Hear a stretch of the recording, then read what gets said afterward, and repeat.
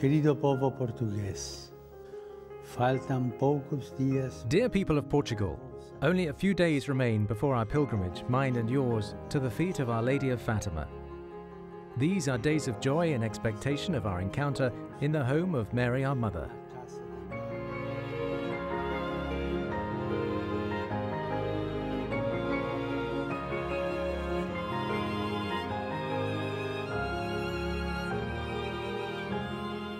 De facto, en las vestes de pastor universal, It is as the universal pastor of the Church that I would like to come before the Madonna and to offer her a bouquet of the most beautiful blossoms that Jesus has entrusted to my care.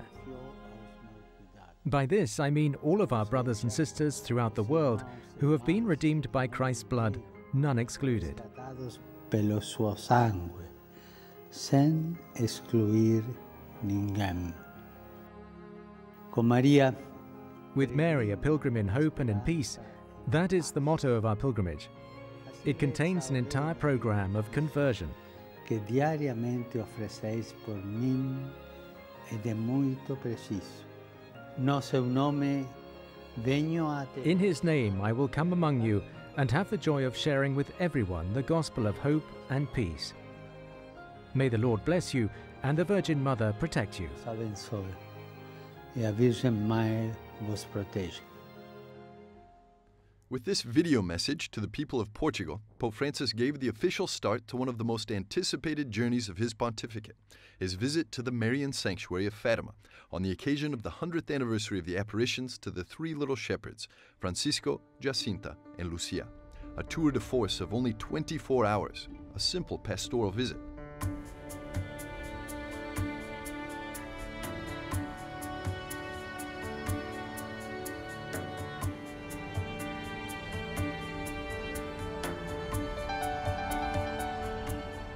Friday, May the 12th, at 4:30 p.m. local time, the Pope arrived at the Monte Real Air Force Base.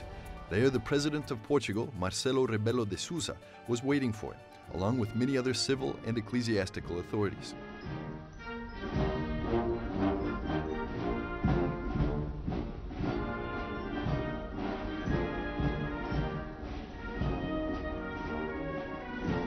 Prayed in the chapel of the Air Force Base, and afterwards, on board an Army helicopter, he made his way to a football pitch in Fatima.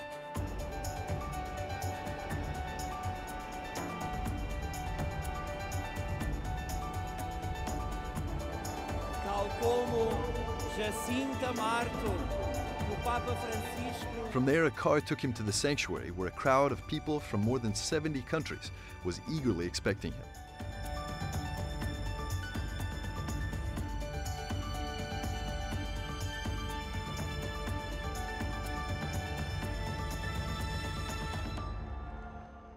Like any other pilgrim, the Pope prayed in the Chapel of the Apparitions, where he presented himself before Our Lady as a pilgrim in light and in hope, and where he beseeched Christ for agreement among all peoples.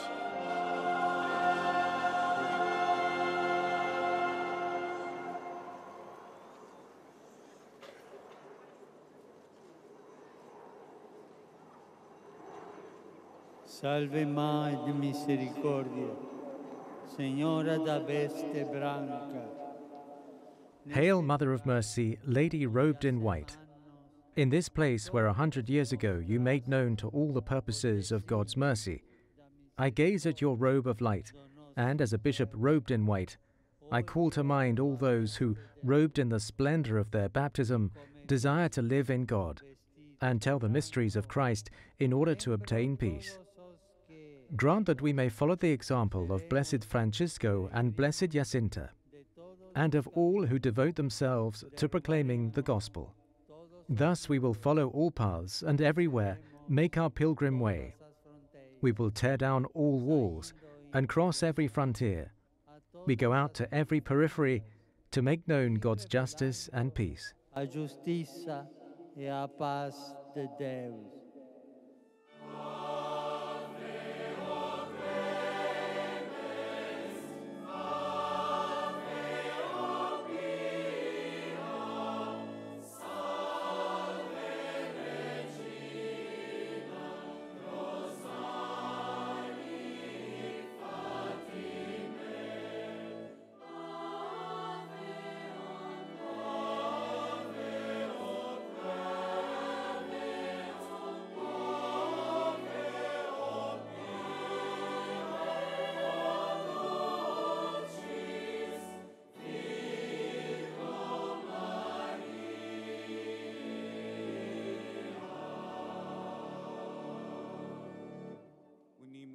Around the Pope were faithful from all social classes, ecclesiastical and lay, all praying for the whole of mankind. El año 1917, cuando las apariciones, era un momento difícil. 1917, the year of the apparitions, was a difficult time for Europe. Now it's a difficult time for the world. And the Pope has the duty to ask our Lord and His Holy Mother for a change in men's hearts, so that the weapons we use to kill can become those we use to give life. The weapon of charity, about which the Pope talked while he was in Egypt, is the only weapon we Christians have. And I'm sure this is the weapon he asked for in that moment of profound silence we all lived with him while he was praying before the Virgin of Fatima. This world needs it, and we all know it is. And the only person who can give us this weapon is the person who brought to life and to this world God, who is a God of love. Y porque aquí en Fátima experimentamos cómo Here in Fatima, we experience how a unity is created with the simplicity of the mother and that of the children. I have been deeply touched by the enthusiasm with which we have lived the welcome of the Pope and all the moments of prayer with him. What I want the most is peace for my country. We're going through a tough time. All the world knows it. We all think of our families, but especially of the country. We come here to pray for peace in our country and in the world, and to ask God to make our politicians think deeply on their decisions in order to have peace all over the world. We are a very devoted country, very Catholic, and 100% Marian. This is real Venezuela.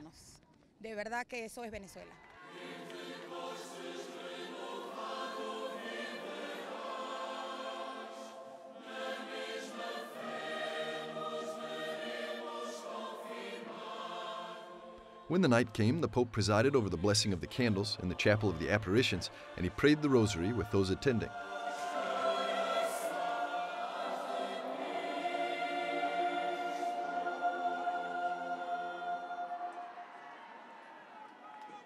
While greeting the faithful, Pope Francis asked for the intercession of the Holy Virgin on behalf of the weakest.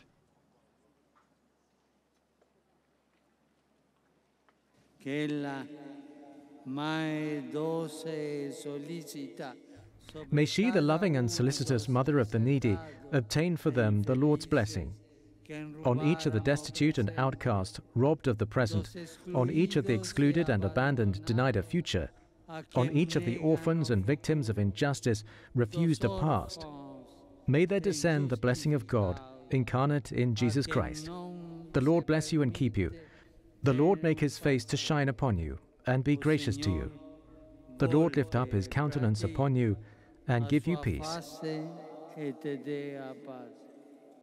He also reminded the faithful of the essential, vital, and providential relationship that unites the Virgin with her Son Jesus, and then invited them to contemplate the essence of Mary.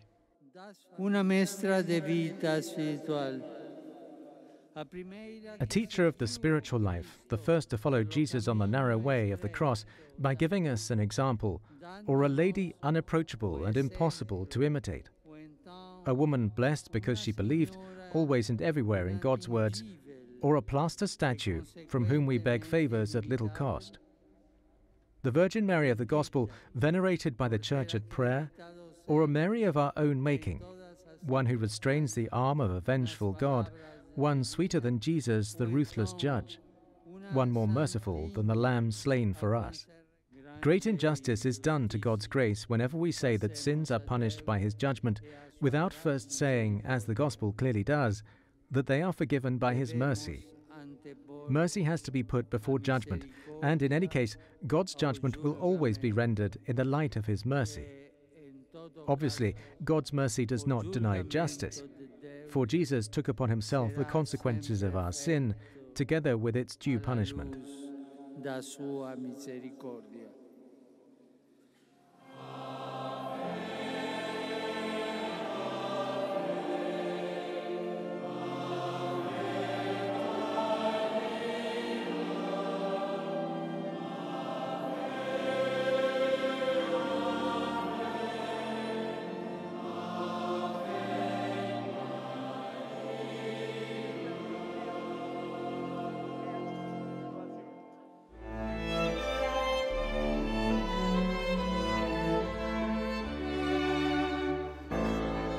In a few moments, we'll be back with more on Vaticano.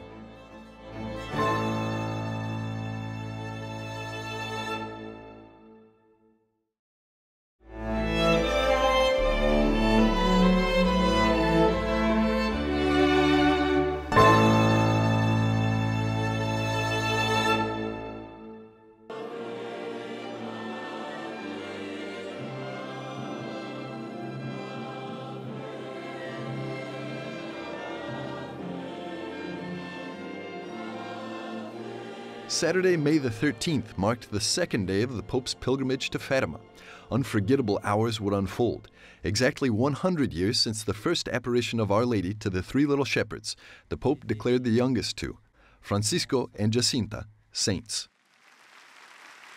Thus becoming the first non martyred children ever to be canonized in the Catholic Church.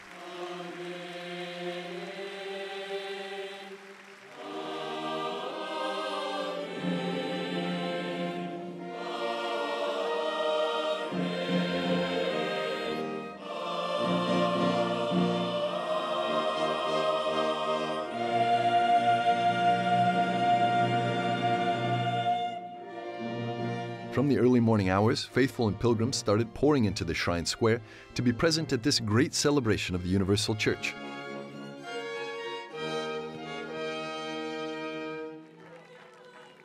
Before starting the Holy Mass, with half a million people who were eagerly expecting him, the Pope prayed for a while before the graves of the two saints.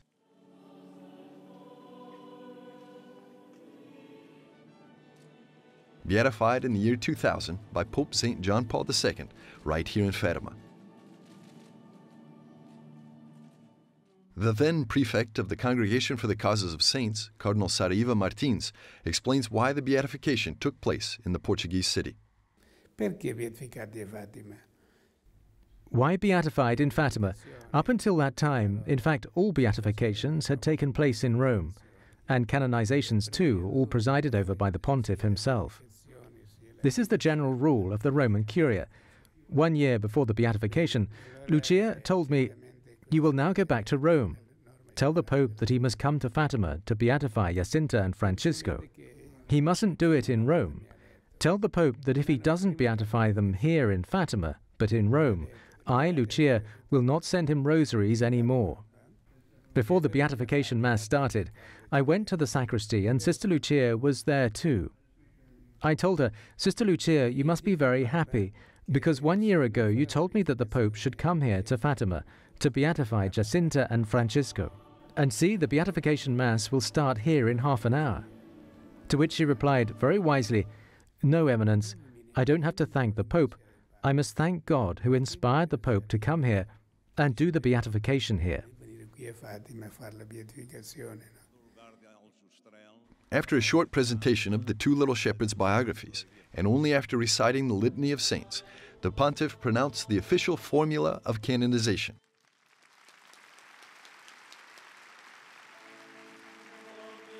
Then, before a visibly moved square, the relics of Saints Francisco and Jacinta were carried in procession to the little square in front of the shrine, where they were placed at the foot of the statue of Our Lady.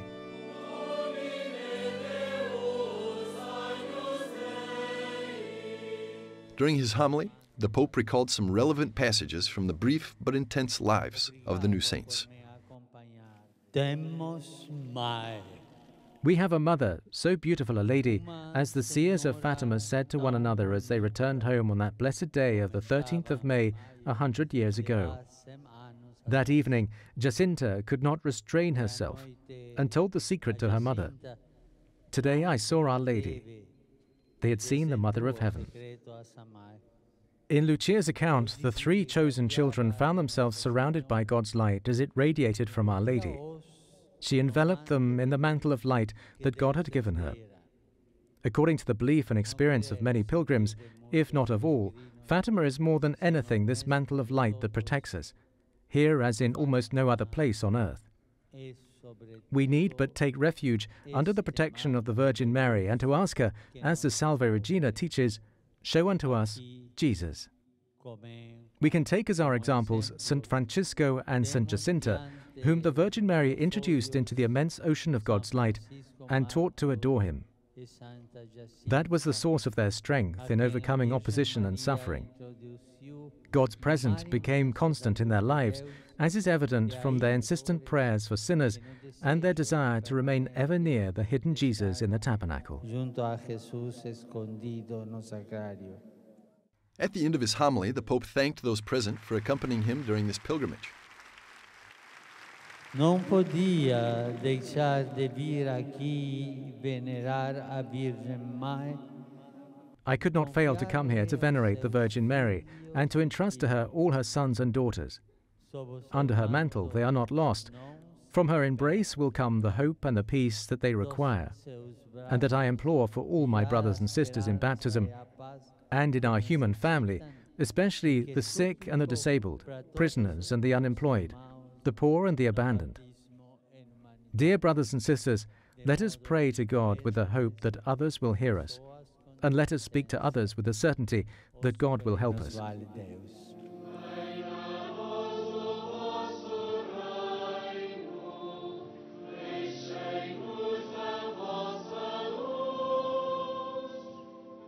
One of the most emotional moments of the day was the touching embrace shared by the Pope and little Lucas, whose miraculous healing happened through the intercession of then Blessed Francisco and Jacinta Marto.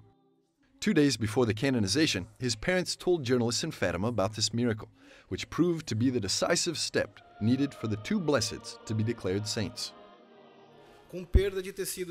On March the 3rd, 2013, at 8 pm, our son Lucas, who was playing with his little sister Eduarda, fell from a window six and a half meters high. He was five years old. He was in a very serious coma he had two cardiac arrests and was operated on urgently. Doctors said he had little chance of surviving. We begin to pray to Jesus and Our Lady of Fatima, to whom we have great devotion. The next day, we called the Carmel of Campo Mourão, asking the sisters to pray for the boy. On that day, the sister conveyed the message to the community. A sister ran to the relics of Blessed Francis and Jacinta who were next to the tabernacle and felt this impulse of prayer. Little shepherds, save this boy, who is a child like you. He managed to convince the whole community to pray only with the intercession of the little shepherds. They did, in the same way all of us in the family began to pray to the little shepherds. And two days later, on March the 9th, Luke woke up well and began to speak asked by his little sister. It's completely fine with no symptoms or sequels. What Lucas was before the accident, he is now. His intelligence, his character, everything is the same. Among the many faithful in the square was also Cardinal Sean Patrick O'Malley. He shared with us his own personal reflection on the two saints. In such a short life, they achieved uh, great sanctity and holiness. And the fact that the Blessed Mother chose them is very significant. So I think there's a great lesson in this. And uh, all the saints' lives are sermons for us, but uh, in these children, it's a reminder that how precious children are and that they too are called to sanctity.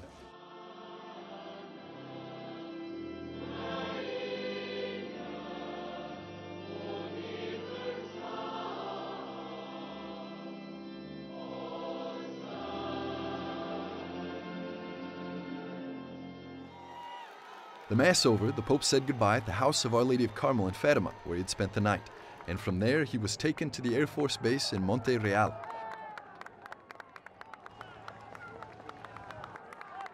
At 3:50 p.m. local time, the plane with the Pope on board took off from Portugal, headed for Rome.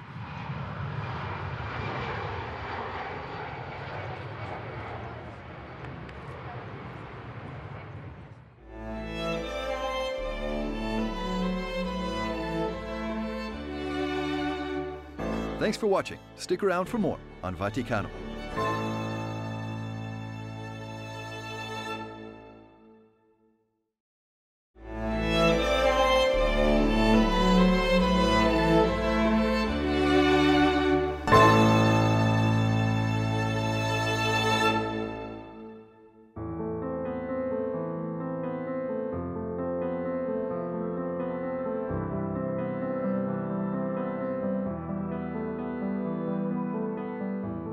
Fatima si inserisce Fatima is not an isolated event, it's part of the great apparitions. La Salette in 1846, Lourdes in 1858. This event happened in Portugal in 1917. in Portogallo avviene questo fenomeno.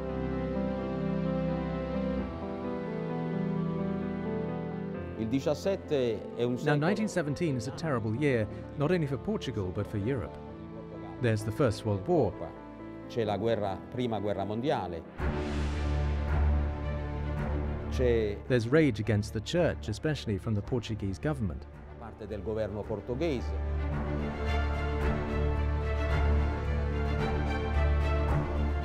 There's poverty, ignorance, pain, and fear. Paura. Ecco che And here we have Mary who appears in this little village in Portugal to three children. bambini.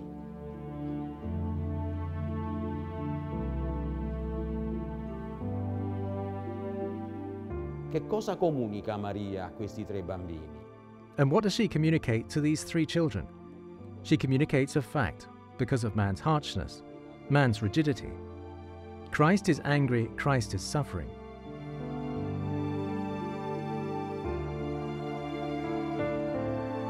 Faced with this situation, the children promise to be the ones who will face Christ's pain, and they take this on at their age. I want to suffer for Christ, and I want to be Christ's friend. And they commit to praying and suffering for the conversion of the world. Per la conversione del mondo.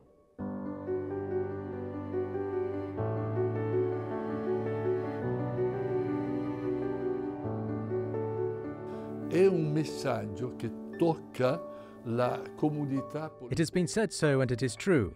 Beyond the message of pursuing a personal conversion and the request for penance, penance, penance in the Virgin Mary's words, the message of Fatima involves the international community.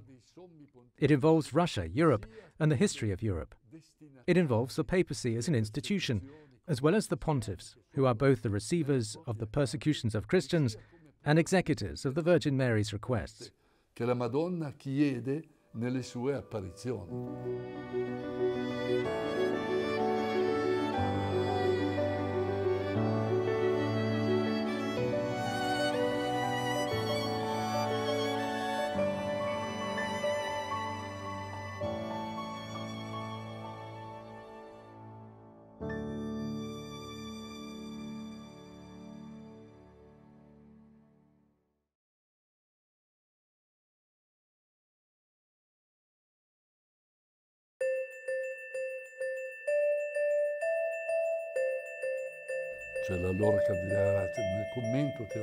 The then Cardinal, in their theological comment to the publication of the third part of The Secret of Fatima, explicitly stressed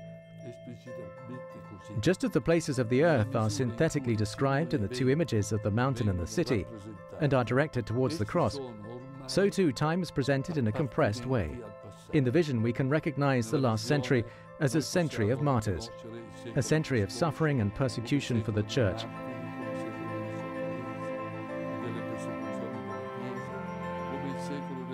a century of world wars, and the many local wars which filled the last 50 years and have inflicted unprecedented forms of cruelty. In the mirror of this vision, we see passing before us the witnesses of the faith decade by decade. So, in one sense, he says that the events described in the third secret are now past. At the same time, the heart of Fatima's appeal deals with conversion. That is, the conversion of the faithful and the path of the church towards fidelity. Sister Lucia really cared about accomplishing what she calls the mandamiento de Maria, the commandment of Mary. As there is the Lord Jesus' commandment, love one another as I loved you, as well there is Mary's commandment, do whatever he tells you. So the message of Fatima continues, it is eternally up to date. This is the meaning of what Benedict XVI has said.